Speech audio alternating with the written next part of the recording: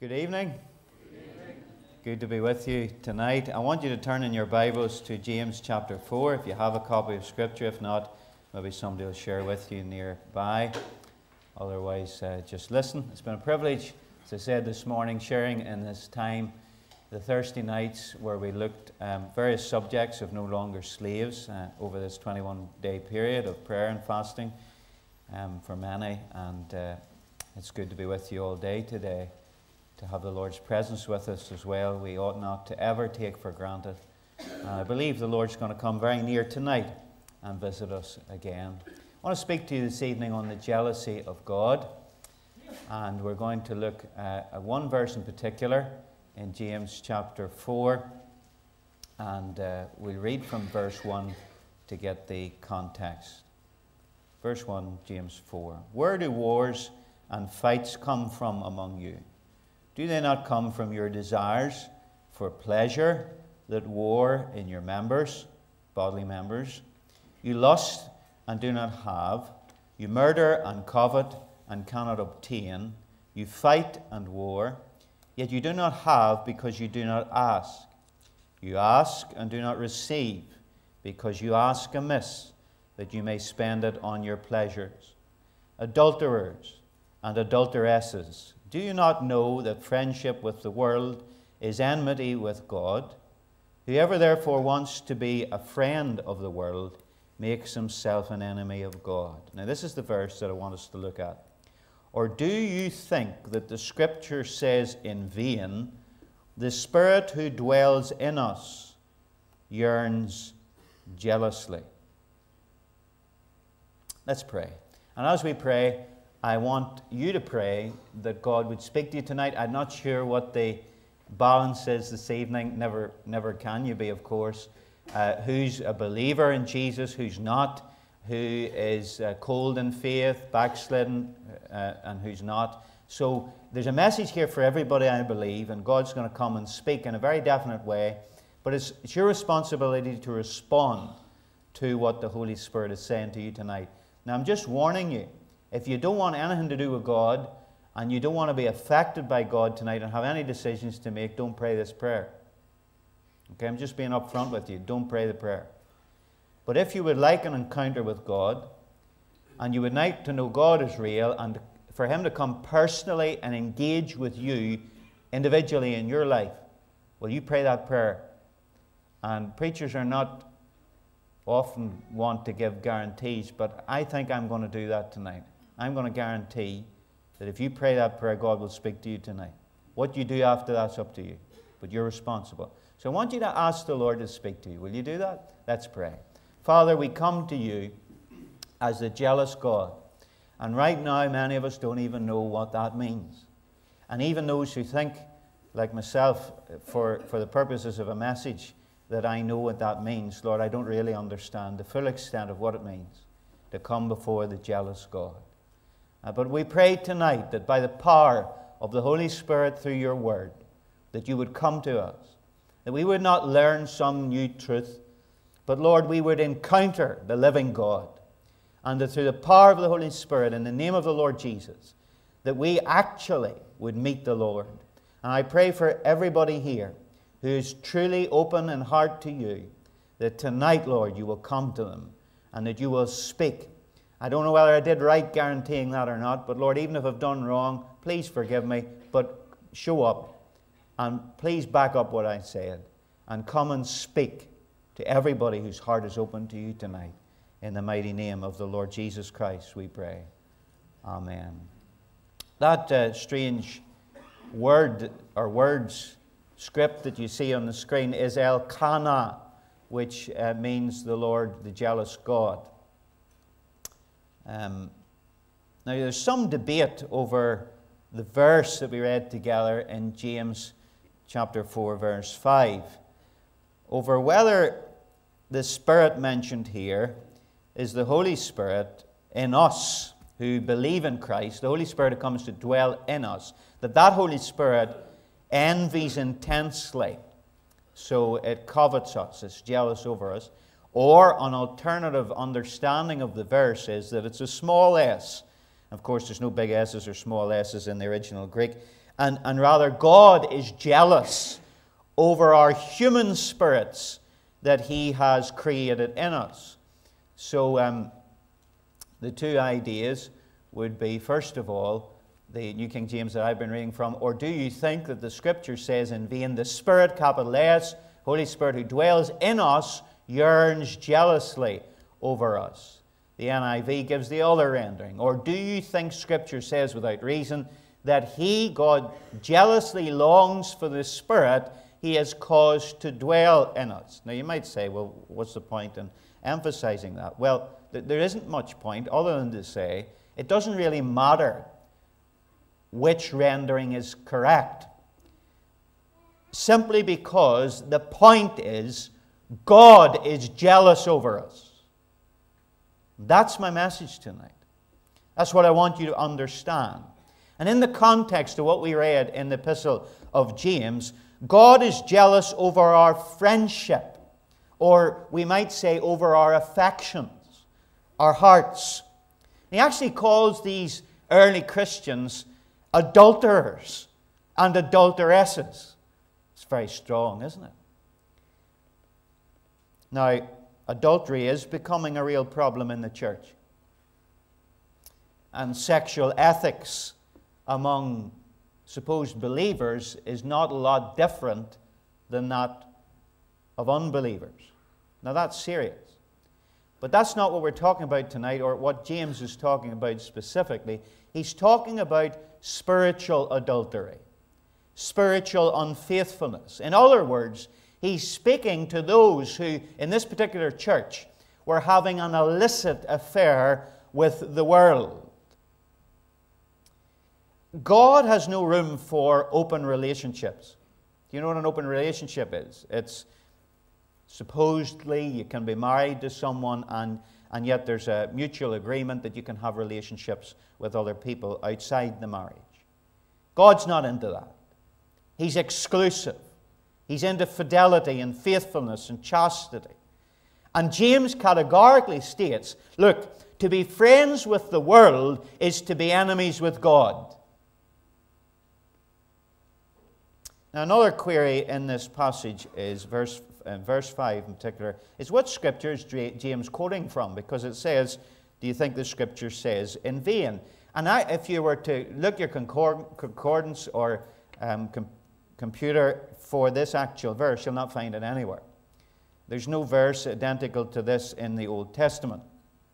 But probably the best explanation of what James uh, is quoting is not a particular passage verbatim, but rather summarizing what much of the Old Testament testifies that God is a jealous God. And as we'll see tonight, there are many passages which allude to this. God is Elkanah, the jealous God. I don't know about you, but uh, up until now, I, I had never heard a sermon on the jealousy of God. I'd never even seen a book about it. Probably because we tend not to think of God as jealous. At least we try not to think of Him as jealous. It just doesn't seem to feel right, does it? Probably because of the understanding that has been defined by popular opinion in our society of what jealousy really is. The modern world has taught us that jealousy is the green eyed monster. It's seen as petty, pathetic, vindictive, an emotion that, that smacks of control or attempting to possess another. And so, those of us who are reasonably biblically literate understand that God is a good God. God's loving and gracious. So, if He is perfectly good, then how can He be jealous according to the accepted understanding? Now, there's no doubt about it for us, jealousy can be bad. We can envy another person's success, their wealth, their possessions, their partner. And jealousy, you can't underestimate it it can become monstrous. The Evangelical Dictionary of Theology defines jealousy like this. I'm quoting Psychologically, jealous people are filled with tension and conflict. The jealous person is always an angry person who is filled with self pity. For the jealous person, both his past and his future seem empty, and desire to cut other people down to his own size becomes intense. The jealous person responds defensively and is easily irritated. He develops a hypersensitivity towards everyone and interprets both the deeds and conversations of others in the most negative light possible. Jealousy sets a person at cross purposes to everyone, robbing him of any feeling of belonging to this world. Now, listen to this statement. It has been found that jealousy is basic to all character disorders. That's staggering. Nothing can liberate the envious person until he sees that he is the source of his own painful situation. So we're all in agreement, aren't we? Jealousy can be bad. However, it can be good for us to be jealous. When a husband discovers another man trying to steal his wife's affection, he is justifiably jealous. So, what is the difference between good jealousy and bad jealousy? Well, very simply put, one is an outward jealousy for the other, and the converse is an inward jealousy of another. The difference is jealousy for, not jealousy of. Jealousy for is the positive, the selfless jealousy. Jealousy of is the negative, the selfish jealousy. When you've got the positive jealousy for, it is a zeal for what is right. But the negative inward jealousy is rather than a single minded devotion, it's a negative sinful envy and what the Bible calls covetousness. So I hope that's clear to you. The Bible uses this Hebrew word kana for jealousy, and it literally means Hebrew is very much a pictorial language. It means to become dark red. Now, what on earth is the connection with jealousy and becoming dark red? Well, in Proverbs 6, verse 34, we read, For jealousy is a husband's fury, alluding to uh, the affections of his wife being taken by the threat of another.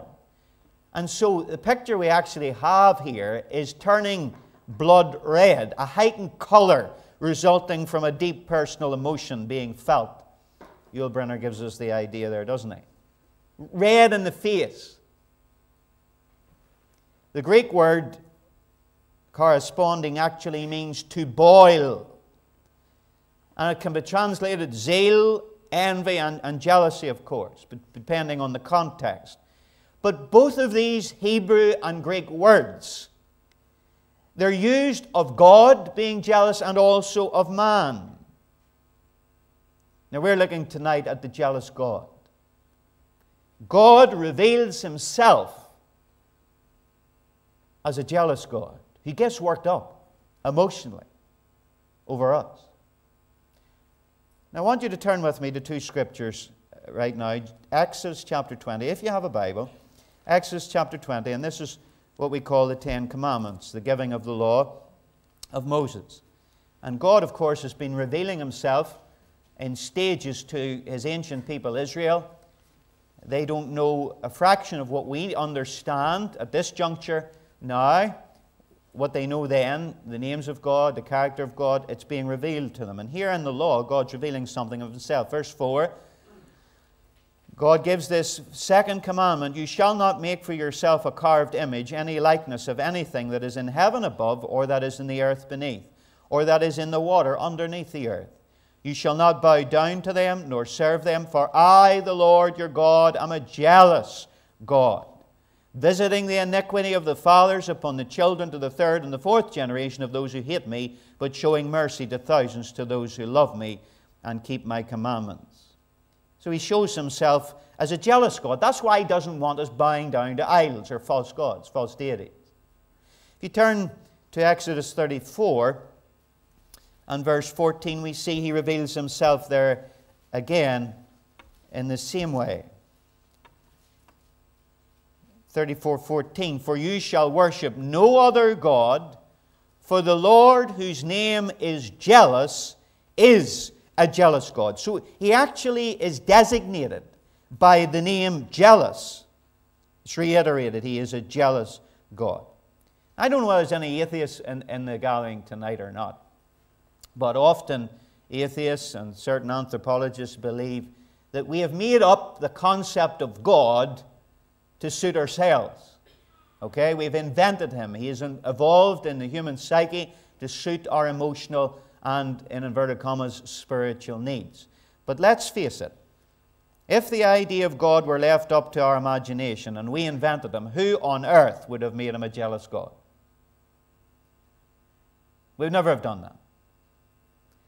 That's why we know that the God of the Bible is not a made up idea of man, but he's revealed. He is the objective reality.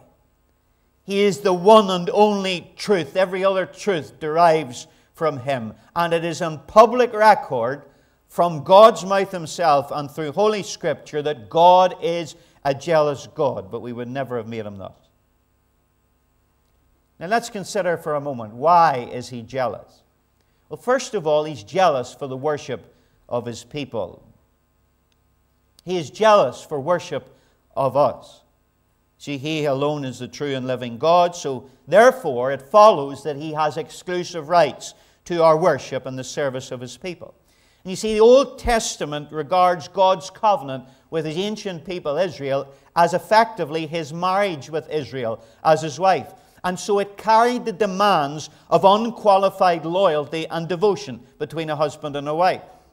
And so God's jealousy is his zeal to protect a love relationship or to avenge it when it's broken and when his people go after false loves.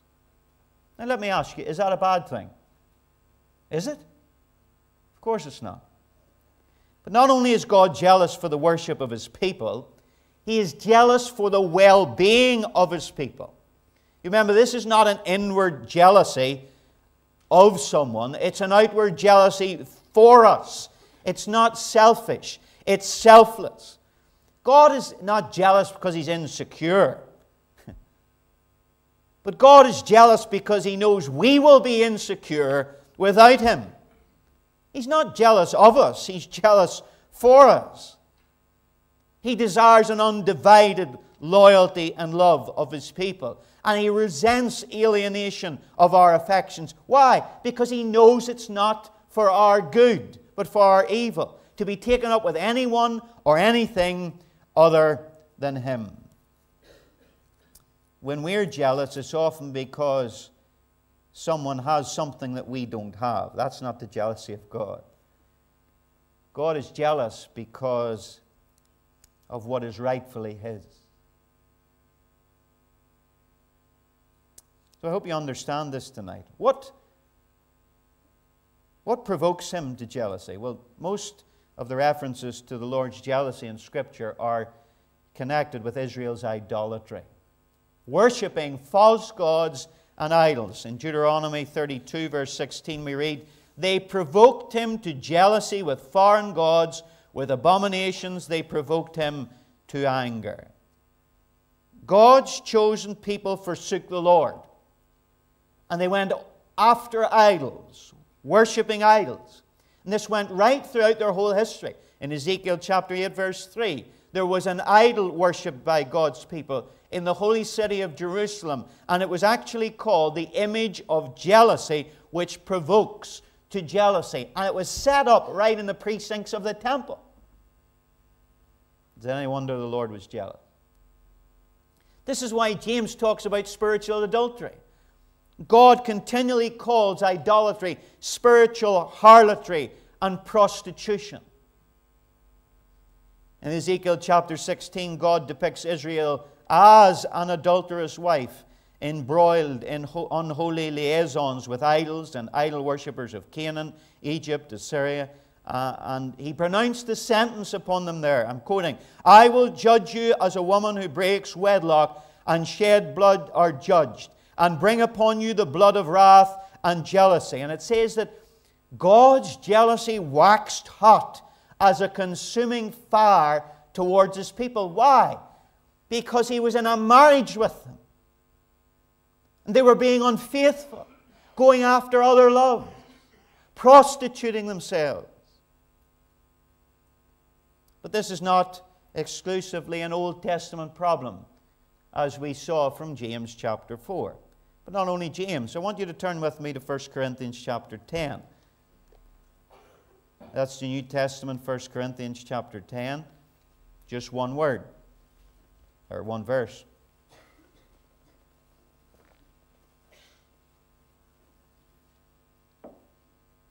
Verse 22. Do we provoke the Lord to jealousy?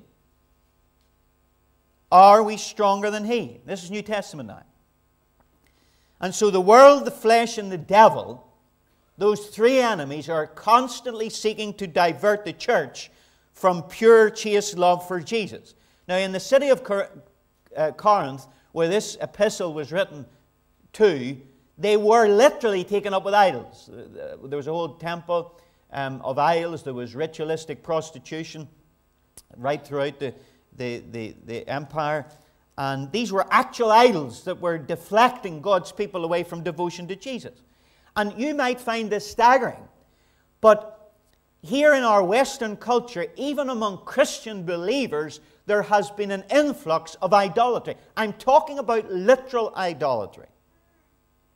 False religious practices, occult practices, Eastern mysticism, dubious practices in alternative medicine. I know of Christians who have little Buddhas in their home, little statues, other ungodly objects, and they think it doesn't really matter. And you're being deceived, and you're coming under the bondage of the enemy. But if you're here tonight, and I know it's not PC to talk about uh, other gods being false, but I'm not interested in being PC.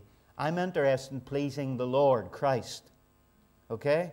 And I was really pleased to hear Franklin Graham reading from Timothy. There is one God and one mediator between God and man, the man Christ Jesus, at the inauguration of the new president. But you've got to know there's no other God but the living God. No other God but the God of the Bible, the God of Abraham, Isaac, Jacob, the God and Father of our Lord Jesus Christ, the God of the apostles, the prophets, and the early evangelists. There is one God, and his Son is Jesus Christ. And you can only come to him through Jesus. But sadly, even God's people today, first Isaiah chapter 2 and verse 6 in the NIV reads, Of the ancient people Israel, they are full of superstitions from the east. They practice divination like the Philistines and embrace pagan customs. That's happening. You may be here tonight and you're not engaging in any hocus pocus or anything dodgy in that regard, but you're tempted to worship idols. And your idolatry may be the worship of money or material things, sex, power, pleasure, fame. And can I say, even in the church, there is idolatry, where church denominations worship their denomination, or they worship a particular doctrinal preference or practice of religious tradition. Paul says, Do not be ignorant of Satan's devices. He wants to get all of us, whether we're believing or not, into the grip of idolatry. That is his scheme.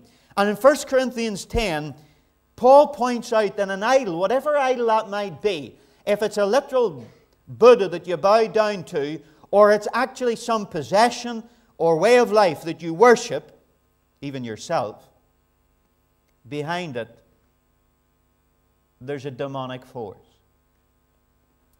Look at 1 Corinthians 10 again. Look at the context of that verse 22 we read. Do we provoke the Lord to jealousy? Look at verse 19. What am I saying then? That an idol is anything, or that what is offered to idols is anything? Rather, that the things which the Gentiles, the unbelievers, sacrifice, they sacrifice to demons, not to God. And I do not want you to have fellowship with demons. You cannot drink the cup of the Lord and the cup of demons. You cannot partake of the Lord's table and of the table of demons. Do we provoke the Lord to jealousy? If there is an idol in your heart tonight, you've got to understand that's not, that's not some kind of neutral pastime. It's demonic. And the enemy wants to use it to bring you into bondage. What is a foothold of that idol will become a stronghold and eventually a stranglehold. And if there's any spiritual life in you, it will crush the, the life right out of you. Idolatry is empowered by the demonic. That is why it's so serious. And so, even as Christians, we ought to have no disordered loves in our lives, no other gods before the living God. Commandment number one. Commandment number two no graven images. Not bowing down in our hearts to anything other than the living God. You see, your spirit should not be bowing down to someone, something else, even yourself. Some of us worship ourselves. God wants nothing less than exclusive devotion for Him, not because He's an egomaniac, but because He knows it's for our good. Do you understand that? He made us. He knows what's for our best. In fact, that's how much He loves us. And this is really my message tonight. He is jealous for you because He loves you. And how could anybody doubt the jealousy of God over all of us as souls and spirits? When we see Jesus Christ spread out on the cross with nails in his hands and his feet, when we see him in agony and blood dying for humankind, why? Not because he had to, but because God was jealous over his creation. He loves us. How could you doubt his love when you look at the cross? But it's not only that. Even tonight, here in the 21st century, where you're seated in this church, he is jealous over you. He loves you enough to pursue you, to chase you down. Did you pray that prayer tonight? To speak into your heart, to fight for you to fight against your idols, to fight against rival loves, so that he might win you. I love the story of Hosea in the Old Testament. I don't know whether you know it or not. There's even a bit of a dispute among so called Bible scholars because they can't seem to swallow and take what it's actually teaching. And in the first couple of verses of the prophecy of Isaiah, this prophet, this man of God, was told by God, Go and get yourself a wife of harlotries. Marry a wife of harlotries, which literally is, of course, go and marry a prostitute. And he went and, and married a prostitute called Gomer. And he took on board the children, the illegitimate children that she had had. And the Bible says that he loved her. He showed love towards her in every practical and conceivable way. He loved those children and even had his own children with Gomer. But the story goes that Gomer then went back to their old ways. Her unfaithfulness kicked in again, and she went back to her prostitution. She eventually ended up in slavery. And what did the living God say? Some of you here, this is a revelation for you, because you think that the, the living God's a killjoy. The living God so squeaky clean that he, he couldn't look at you or consider the type of things that you've been into to reach you in love and compassion. Listen, the living God not only said to this, this minister, Go and marry a prostitute, he said, Go and buy her back from slavery and take her home again as your wife. How would that have felt for him? What's God up to? If that wasn't in the Bible, you wouldn't believe it. What is God up to? He was telling his ancient people, This is my love for you. You go and prostitute yourself over and over again and again. After I have shown love towards you, you go back like a dog goes back to its vomit. You go back to your old ways and disregard my love and grace and everything I've done for you. That's what some of you have done, isn't it? You know about Jesus loves me, this I know for the Bible tells me so. You know about the demonstration of God's love toward us and that while we're yet sinners, Christ died for us. But you continually go back to your old ways. But God, tonight, even this very moment, is jealous over you and He's pursuing you. He's chasing you down because He loves you. The Lord our God is a jealous God. He loves with jealous fire. Carved images and foreign gods provoke His holy ire. But His is an unselfish love for those redeemed by blood. He wants first place in all our hearts since this is for our good. And you know something? He is such a good God that He'll never force you. He'll never force you. He'll whisper. He'll woo you. He'll chase you down. But he'll never ever put your arm up your back and say, You must obey me. That's not love, is it? Forced love isn't love. So, what ought our response to be to the jealousy of God? Well, listen, our right response to the love of God is to love God back. We love Him because He first loved us. Isn't that right? Well, our right response to the jealousy of God is to be zealous for God, a zeal for Him, as the dictionary defines the adjective, full of zeal, ardent, fervent, exhibiting enthusiasm or strong passion. That's the way we ought to be for God. Nominal Christianity out the window. Nominal Christianity is utterly ridiculous. Is that the way your faith is? Do you know there's, and I don't want to confuse you, uh, I confuse myself very easily, so I hardly confuse you, but there are the incommunicable attributes of God. You know what that is? Things that God is and has that you can never have. Okay? And even you pastors, you can't be omnipresent. You know that, don't you? They can't be everywhere at the same time. God alone has that attribute. They can't be all knowing either. All right? But there are communicable attributes of God, which are things that God has and is that He, he can communicate to us, like love, anger. One of them is jealousy. When you get close enough to God, He will share His jealousy with you. There's a man in Numbers 25 by the name of Phinehas. This is an intriguing story. And it says that Israel provoked itself to je- provoked the Lord to jealousy with idolatry again. And it's very graphic, I'm not going into the details, but they were, I mean, many of them were falling in ritualistic pagan prostitution. And Moses declared that the offenders would be sentenced by death. Now you might think, oh boy, that's very harsh, and, and what kind of a God would do the like of that? You've got to understand this is the criminal justice system of a nation now, all right? This is their penal system. This is the way they dealt with crimes. This is not just a church or a religious group, this is a nation and a government, effectively. And so Moses declares that this is, the offenders will be sentenced by death, and the people break into tears. So there's a, we talked about the fear of the Lord this morning. There was a, an awareness of the fear of the Lord came upon the congregation of Israel. The judgment of God was coming. And in that very moment, this is staggeringly audacious beyond comprehension.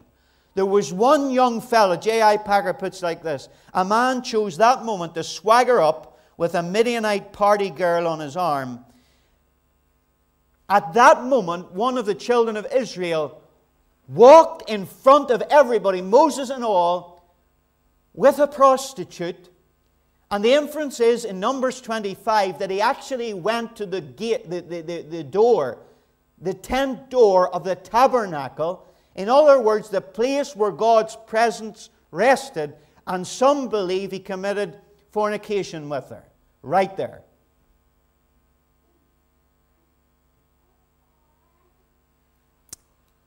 Phinehas, almost beside himself with despair, took a spear. And the Bible tells us he speared them both through. Now remember the Old Testament context and all the rest, but God commanded Phinehas because he was jealous for his God. This is what he says He was jealous with my jealousy, so that I consume not the children of Israel in my jealousy. See, what was going to happen is judgment was going to fall on the whole people because of their sin. But Phinehas, with a jealousy for God, doing something that we might consider grossly violent, he stayed away the judgment of God from the people. Now, that's in an Old Testament context, I know, but it's God's Word. But a New Testament context is our Lord Jesus Christ cleansing the temple. Now, I know this was a rare event in his whole ministry, but nevertheless, it was him. It wasn't a double. And it wasn't explosive rage in a moment. It wasn't that. This was premeditated. We know from the gospel writings that he actually wove, he plaited the whip the night before. He knew what he was going to do.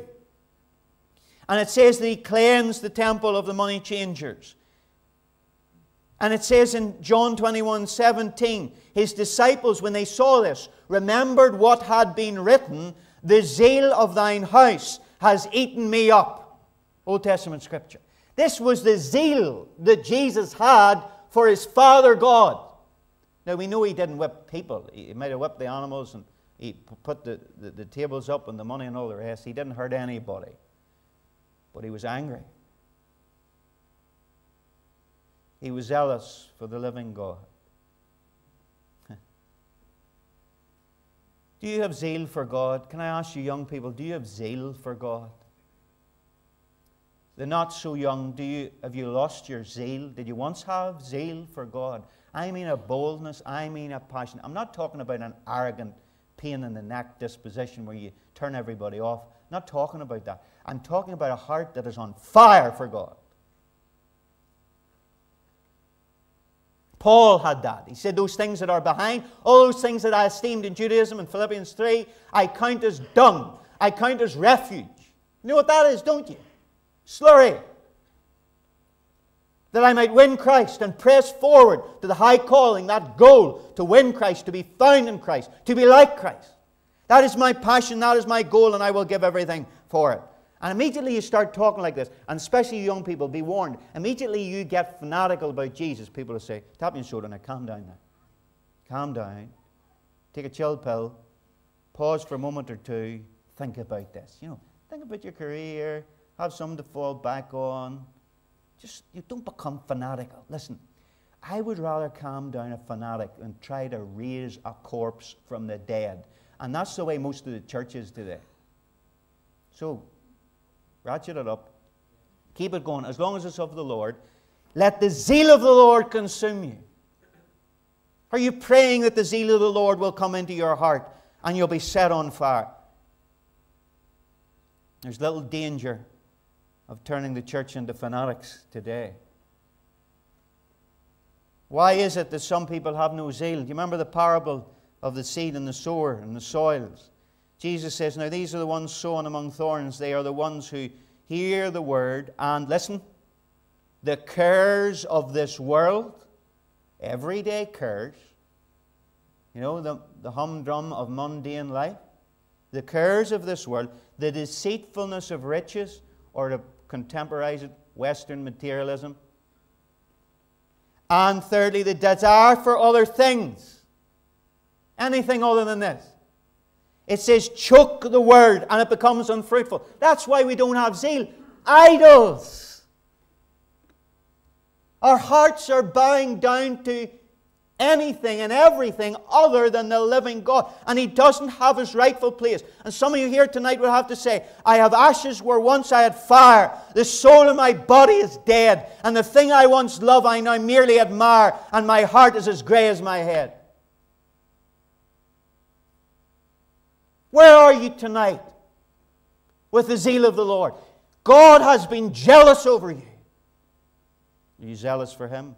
Zeal in the church is almost extinct.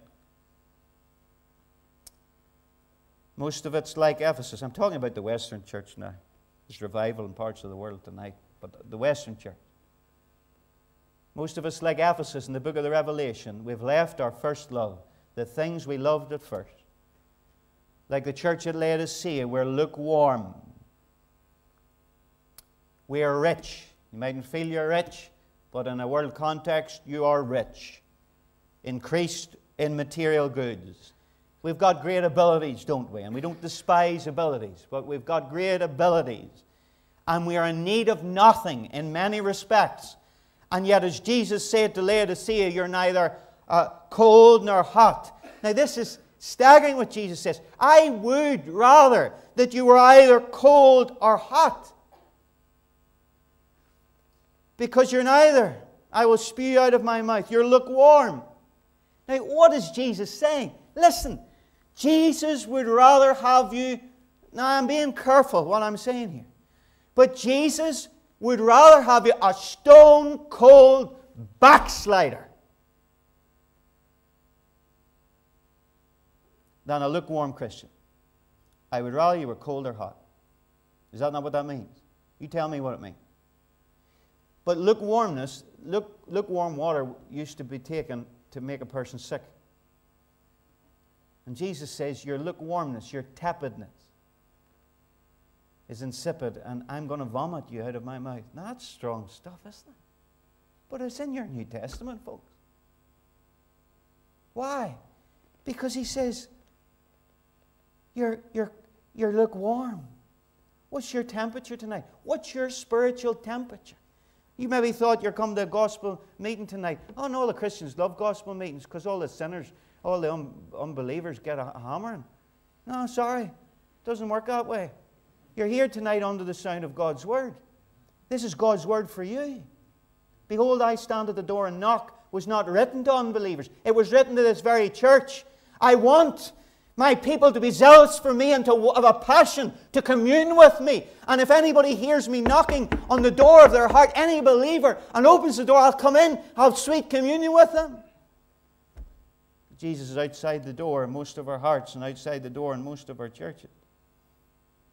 What's the remedy? What was the remedy that Jesus gave the church at Laodicea? Do you want to hear it? Listen, this is interesting. Be zealous, therefore, and repent. We, we've missed that before because we haven't been tuned in to the jealousy of God. He says, You've got to get jealous for me. Get back to the things you loved at first, your first love, and repent. Change your mind and change your ways.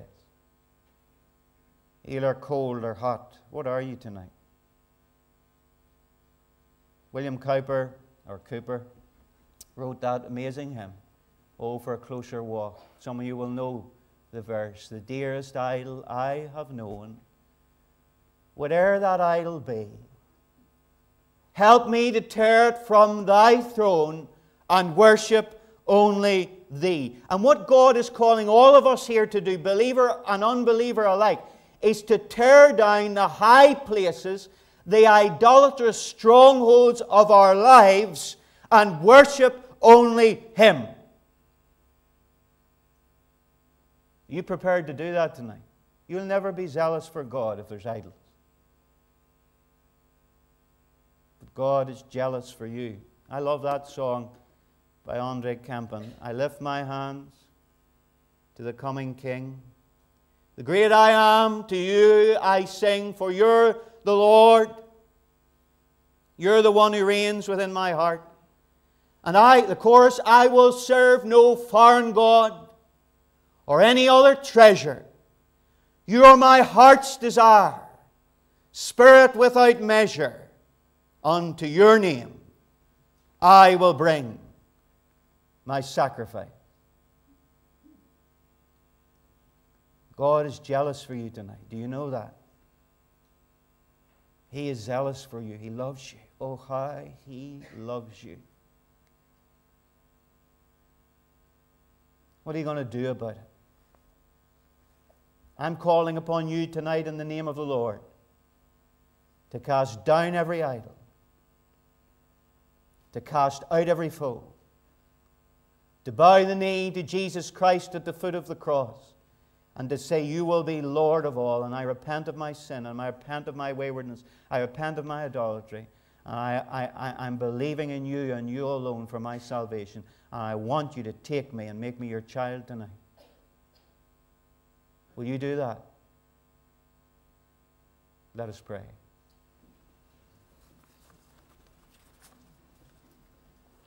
Now, this has been a, a message that's hit so many different areas, I know. And judgment must begin at the house of the Lord. And I'm asking now for Christians right away, as heads are bowed and eyes closed. I'm asking you if you are a backslider, or you're a Christian who, backslider, you want to come back to the Lord, and Christian, you know that you're struggling with idols. Most of us have idols. And I, by the way, I'm not saying I don't struggle with rival loves. Of course I do. But we're being honest with God here. If you've not been honest with God, if you're holding on to idols, but trying to reach out to God or portray that you're following the Lord, but you know you're being a spiritual adulterer and adulteress. And God's not fooled, God sees. Are you willing to repent tonight and say, Lord, I'm coming back to you and I'm asking you to take exclusive rights of me? I am not my own. I'm bought with a price. There is no neutrality. You're either with the devil or you're with God. Simple as that. No no man's land. Is there anybody here, backslider or a cold Christian, and tonight you will say, I want to make things right? Would you raise your hand just where you're seated? Raise it up long enough for me to see it. God bless. Is there anybody else? Keep it up long enough for me to see it, please. Then you can put it down. Is there anybody else? There's a few people responding. Is there anybody else before I move on? This is serious now. This has mostly been a message, God bless, to Christians. And so, listen, if you want people to be saved tonight, and I'm not putting the onus on you, but if we are not prepared to deal with our stuff, why should unbelievers? Tell me that. If you're going to be stubborn before the face of God's fear tonight, why should unbelievers repent? Is there anybody else? God bless. You can put your hand down. Yep, I see it. Okay. Anybody else who hasn't responded? Now, I want to turn attention to, you can put your hand down. I want to turn attention to unbelievers. You've never become a Christian, you've never been saved. And you understand God's great love for you to pursue you and for Jesus to die for you and how God's heart beats for you. He's not prepared just to be laissez faire and say, well, let them go to hell because they don't really like me anyway. And look at the way they're living. Sure, that's what they deserve. That's, that, that might be the God that you've been lent to believe exists. That's not the living God of the Bible. The God of the Bible has pursued you with his own lifeblood and still pursues you by the Holy Spirit tonight. Is there anybody here tonight and you, you've been chased down? You've been found out and it's checkmate tonight and the love and jealousy of God has melted your heart like never before and the fear of God has gripped you and you want to be saved tonight. There may be no unbelievers in the building. I'm, I don't know. But if there is, I want to challenge you. Is there anybody now and you want to be saved? Would you raise your hand? You want to become a true Christian? Just where you're sitting. Put it up long enough for me to see, please. Just put your hand up in the air. Is there anyone? Is there anyone?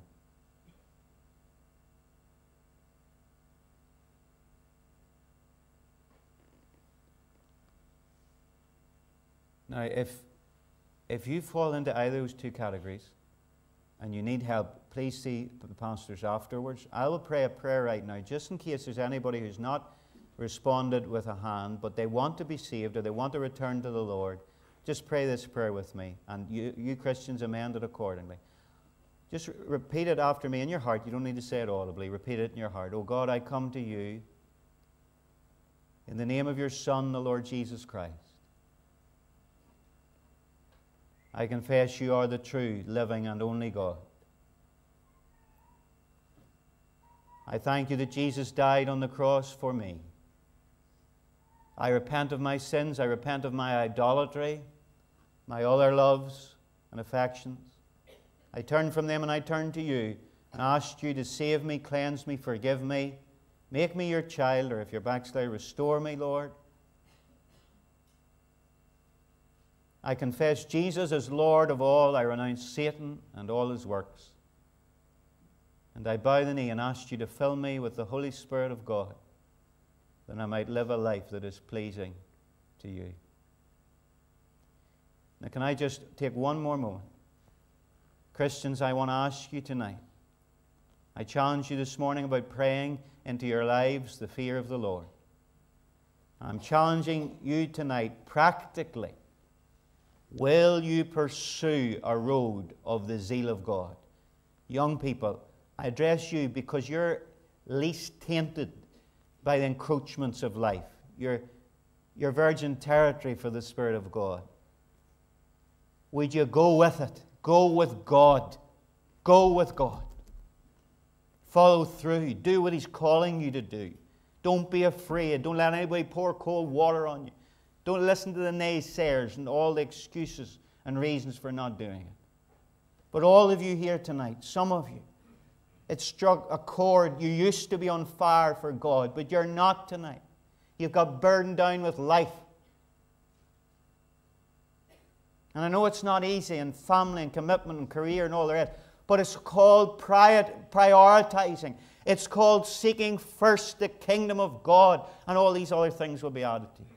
It's time. Listen, if we're going to have revival, and I believe that's what God wants for us, we are going to have to pursue this. Nothing else will do.